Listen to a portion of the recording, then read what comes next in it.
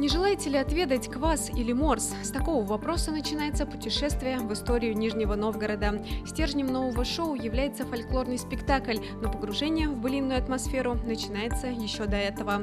Гостей встречает мастер, который даст отчеканить памятную монету, скоморох угостит баранкой, а русские красавицы разрешат примерить сарафан и рубаху для фото. Здесь э, можно встретиться не с простыми людьми, да, а с уникальными мастеровыми людьми. Вот, например, у нас здесь Леонид Хазов, да, это уникальный ложкарь, который ставит рекорды топором и делает ложку, например, там, за 10-15 минут. Да.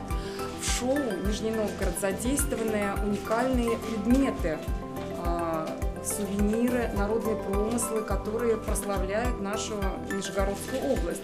В зале гостей ожидает еще один сюрприз – настоящая русская трапеза. Столы сервированы золотой хохломой, а в глиняных горшочках томится ароматный рассольник и перловка с курицей.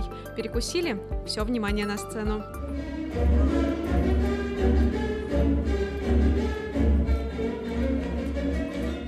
О чем спектакль? Люди придут и посмотрят, о чем спектакль. Вообще здесь и э, легенда есть, и быль, и э, все, что происходило с Нижним Новгородом. Мы гордимся нашим народом, мы гордимся нашим Нижним Новгородом и э, людьми этого города. То, что мы здесь сделали все вместе.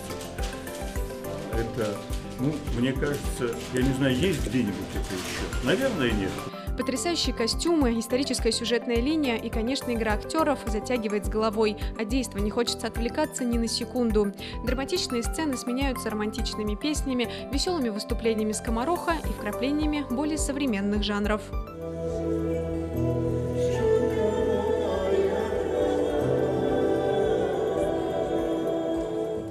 Шоу «Нижний Новгород» приурочено к чемпионату мира, но интересно оно будет не только туристам, но и тем, кто любит и гордится родным городом. Очень здорово, что такое мероприятие у нас есть. Оно теперь постоянно движение будет в программе э, туристских э, маршрутов и. Но самое главное, что после чемпионата мира это шоу не уйдет в историю, а обязательно продолжит рассказывать нижегородцам историю родного края.